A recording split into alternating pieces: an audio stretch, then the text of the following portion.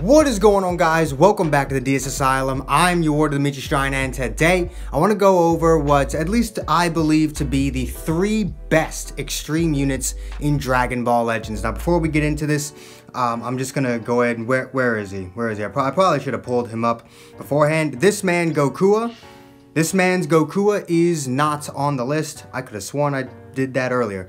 this man's Gokua is not on the list because let's be honest here, the only reason he was ever good was because of the hybrid meta. Like, don't get me wrong, Gokua is good.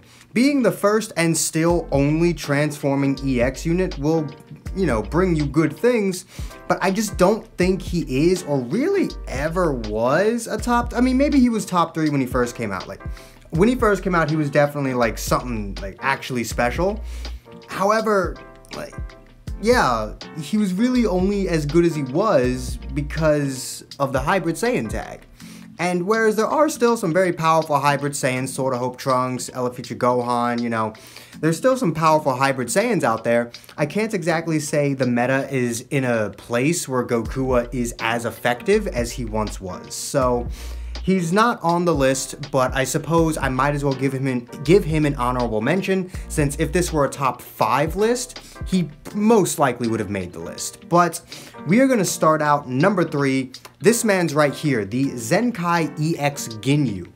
Frieza Force in general is a heavily slept on team. It's actually really goddamn good, especially if you have LF Full Power Frieza. He can come in, nullify any endurance just for existing, so, you know, units like Sword of Hope Trunks and Future Gohan really need to be afraid of that Frieza.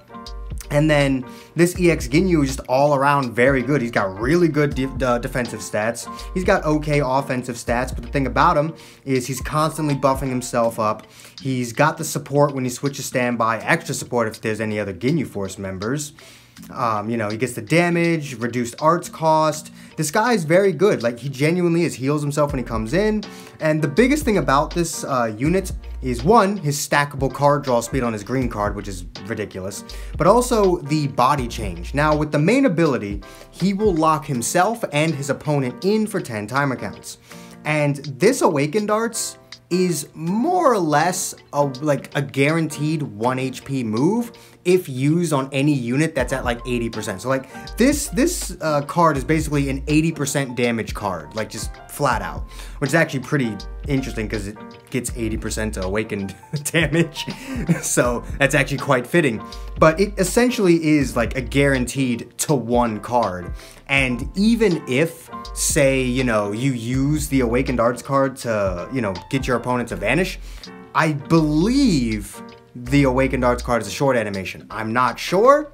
It's been a minute since I've used it.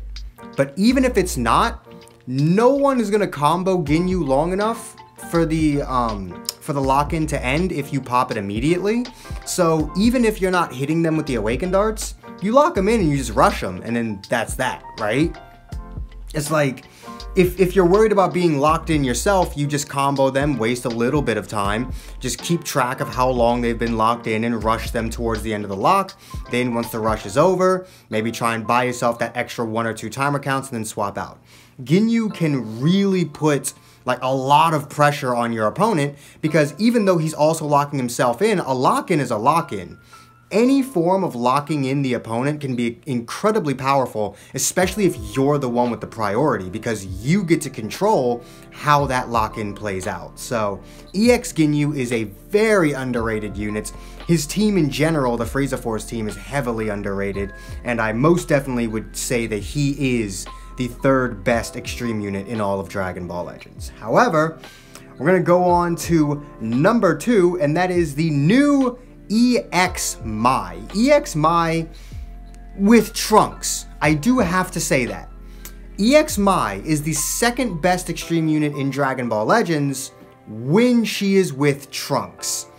The reason why that distinction is important is because when she is with Trunks, she gets an extra 70% blast damage and uh, plus one card draw speed when she enters the battlefield, and she gives a pretty damn good support to Trunks as well, healing him by 10% and giving him 30% strike damage. I mean, that 30% strike damage is only going to happen once because it can't be stacked. Um, but it's basically, that, that just means it's a permanent 30% strike damage buff, and she's still going to be healing him every single time. So she's kind of got like a mini Vados style of support for Trunks. On top of making herself more powerful, she has a by default lowered sub count, which is very powerful. Having your sub count permanently shortened by two is extremely powerful. Um, she does have just basic damage buffs, 30% damage, um, you know, 20% reduced damage, which doesn't really help her because she's an EX, but whatever. when she's defeated, she has support. She'll, she'll give 30% damage, 50% Ki recovery. People really underestimate just how good Flash is because Flash and Immobilize are basically free rising rush buttons. Like, legitimately, her green card is a free rising rush button because it also shortens ally sub count by one. So let's just say you're fighting that pesky double endurance team, right? Um, you know, Trunks can't swap in yet. Like you're using Future, obviously, because you're running this Mai. Um, your Trunks can't swap in just yet, but your Rose, say you're using LF Rose, he, he's only got like two sub counts left. So you get priority, hit the blast card, use the green card, that'll lower Rose's sub count down. You then bring him in, and rush, and now say you say you just rushed Trunks, his endurance is now nullified. So the green card is extraordinarily powerful. Like, even if it's just minus one sub count, that can be the difference between having to rush Sword of Hope Trunks with Mai and having to rush Sword of Hope Trunks with LF Rose. Like, it, it does definitely make a difference. She gives a pretty big debuff, 20% to blast damage received on the blue card. Uh, all, all around, this Mai is very good. The only thing holding her back is her stats. And like, honestly, when you have a mixture of high damage buffs, card draw speed, sub count manipulation, free rising rush buttons, support, death buffs, like when you have all of these things, I think low stats are something we can work around. I mean, come on. we we can definitely work around some low stats, but Moving on to number one, the number one best extreme unit in Dragon Ball Legends. Um, I'm not gonna cut, so okay, there we go. Let's say if I can't find him, it is EX Jiren. EX Jiren is, as Ryuden would say, an LF disguised as an EX. His stats are actually good, which is crazy. Mine is at, what, five stars? And his stats are actually good for an EX, especially an EX defense type. He can actually tank. He's got blast armor on his strike card. I believe he's the only extreme unit in the game that has blast armor on the strike card, which is crazy. He has massive impact on the blue, which is also not something you see a lot on uh, extreme units. His green card heals him by 15% and cancels his attribute downgrades in abnormal conditions and gives him 30 Ki. That isn't that like that legit is an LF green card. Like there are sparking green cards that are not as good as this one. It's actually really good. He gets uh, minus arts cost on the main, which is very good. He shortens his ally, or not his allies, he shortens his sub count by three for 20 timer counts when he activates this, which is dumb. Like, what? That is so long. And one of the biggest things about this unit is the 40% inflicted damage against tags Sun Family and God Ki two tags that will always be good. Even if they're not the best, they will always be relevant just because of the units that exist on that on those tags. Plus the 90% damage he gets just for existing, like you're legitimately getting 130% damage inflicted against these tags, and especially right now with Goku and Vegeta running around, Sun Family and God Ki are a force to be reckoned with even more so than they were in the past. So, like meta aside, this this is a good kit, but if we actually, you know, take a look at what the meta currently is, he's pretty much going to be extremely powerful against every team except Future.